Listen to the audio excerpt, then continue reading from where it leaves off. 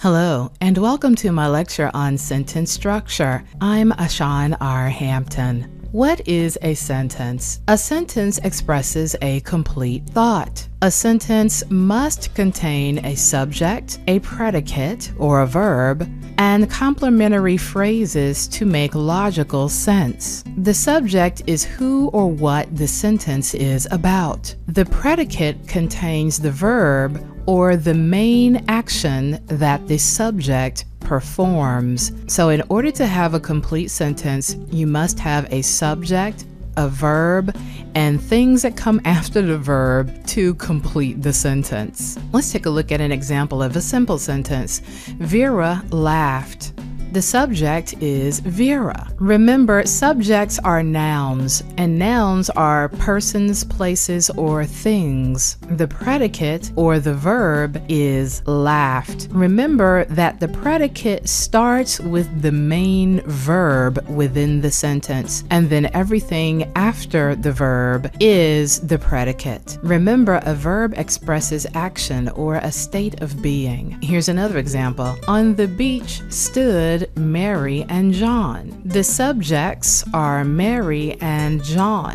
Because there are two people mentioned, we call this a compound subject. The predicate phrase is on the beach stood. Now, I want you to notice this inverted sentence structure. Typically, the predicate would come after the subject or towards the end of the sentence. But in this sentence, the predicate, which includes the verb, is at the beginning of the sentence. So it sounds a little odd to us to say, On the beach stood Mary and John. We prefer to hear it this way Mary and John stood on the beach. Now it's easier for you to see that the verb is stood and that stood on the beach is the complete predicate. Remember, the predicate starts with the main verb of the sentence, and in this sentence, the verb is stood. Carl fried the bacon and scrambled the eggs. Mmm. The subject is Carl. Why? Because he is performing the action, he is the one frying the bacon and scrambling the eggs. So the predicate is fried the bacon and scrambled the eggs. Remember, fried is the first verb and the main verb in this sentence. So everything starting with fried all the way down, fried the bacon and scrambled the eggs,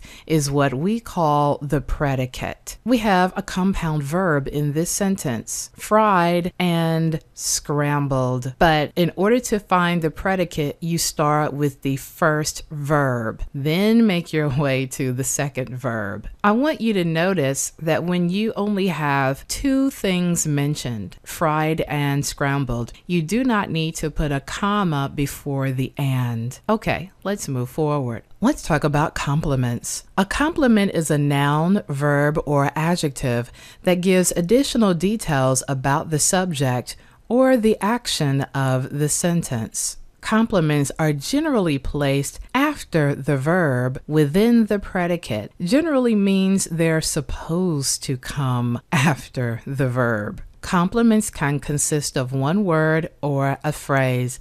Okay, let's look at an example to put all of this together. Donna quickly became irritated. Okay, Donna is the subject, quickly is the adverb, became is the linking verb in this sentence. So, what is irritated? Irritated is an adjective. It is an adjective that gives more detail about Donna's state of being. How is Donna? She's irritated. So, notice that irritated is the adjective, which is the complement that comes after the verb became. Okay, another example. Rodney sprinted toward the finish line. Rodney is the subject sprinted is the verb. Now we have the complement toward the finish line. The finish line is a noun that completes this sentence. Without it, we would just have Rodney sprinted toward. What did Rodney sprint toward? The finish line. So remember, complements complete the sentence and gives additional e- detail about what is happening in the sentence. In this case, the finish line is a noun that functions as the complement in this sentence. So in the first sentence, the complement is an adjective. In this sentence, the complement is a noun. The lion learned to jump. Okay, lion is the subject, learned is the verb. It is the main action of this sentence. So, what is to jump? Yes, to jump is the complement that is acting as a verb. To jump is an infinitive phrase. It is not the main verb of the sentence. So, in this sentence, to jump is functioning as a verbal phrase. What do we mean by verbal phrase? We mean it is not the main verb, but it contains a verb, jump, which is functioning as a complement. Okay, you might want to pause the video right here to let all of this sink in. Okay, let's move forward Another type of complement is the direct object. Direct objects are nouns or pronouns that receive the direct action of the verb. A direct object usually follows the verb. So here's the sentence pattern subject,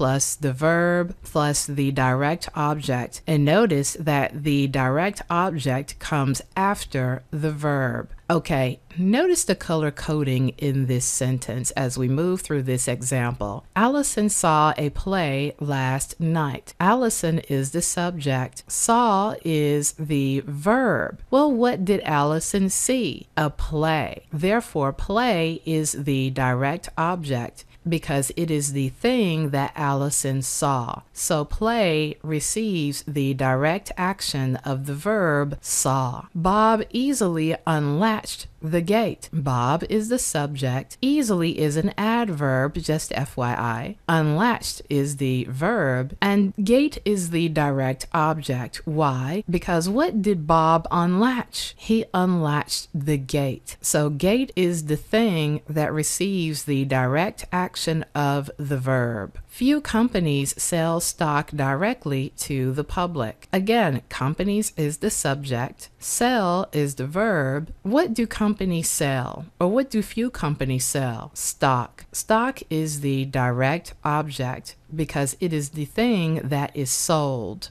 Another type of complement is the indirect object. Indirect object, the person or thing to which or to whom or for which or for whom the action is performed. Indirect objects come before the direct object. So here's the sentence pattern subject, verb, indirect object, then the direct object. So the indirect object comes directly after the verb and before the direct object. So here's the sentence pattern S V I O D O. Okay, let's look at an example. Margot handed the interviewer her resume. Margot is the subject, handed is the verb. Now, what did Margot hand? Let's look at the direct object first. She handed her resume. Resume is the direct object because it is the thing that was handed. Now, who did she give the resume to? The interviewer. Therefore, the interviewer is